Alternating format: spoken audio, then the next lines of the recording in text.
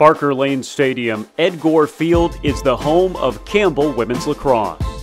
Originally opened in 2008, a massive addition in 2013 added the West Stands, complete with new restrooms, concession facilities, and topped by the two level Carlie C's IGA Press Tower, which includes a 3,800 square foot central press area, plus an executive level with indoor and outdoor boxes, and a President's Suite.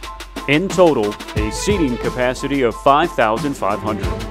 In 2015, the 6,000 square foot Burt Family Sports Performance Center opened at the stadium as the exclusive home for Campbell Women's Lacrosse Strength and Conditioning. The hub of Barker Lane Stadium is the Warren Athletic Center. Inside are the locker rooms and an athletic training facility, plus conference meeting rooms and coaches' offices. In 2016, the stadium added a new video board measuring 25 feet high by 42 feet wide.